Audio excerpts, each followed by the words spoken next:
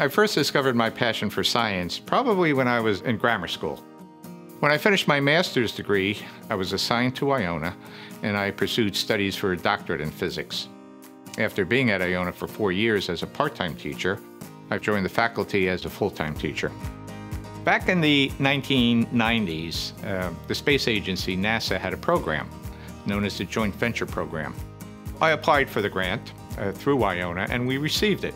As part of the astrobiology studies, we are looking for conditions that could support life on other planets. Specifically, uh, I am studying Mars. It's a very hands-on experience.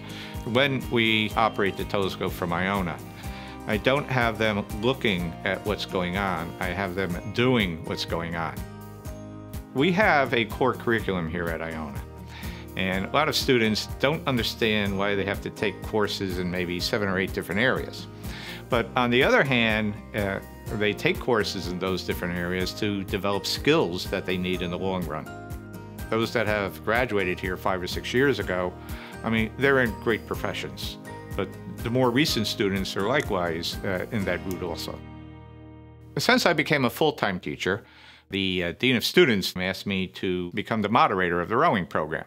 I decided that I wanted to be a more active moderator. I think it means an awful lot to the students because uh, obviously going to class and so on is important for them, but many students, if not all students, have pursuits in other areas. You're not interested in the sport, you're interested in the person.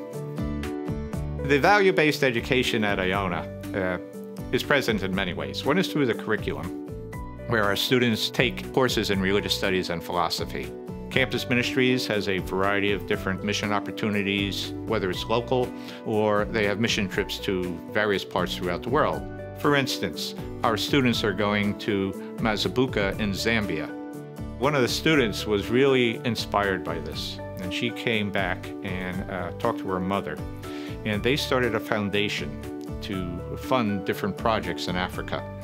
They've actually funded the digging of three different wells in different parts of Sierra Leone. We have seen Iona students move the world in science and technology. When I meet an alumnus, they are always asking about their former teachers.